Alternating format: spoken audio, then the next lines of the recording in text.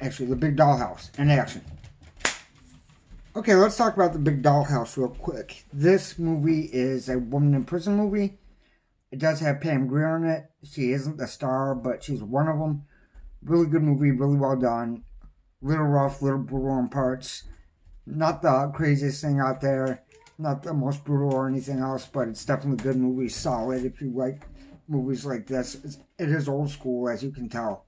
Um, it is something that might be different for people that haven't seen this kind of thing before, but it's definitely not the most extreme movie that I could mention in this genre.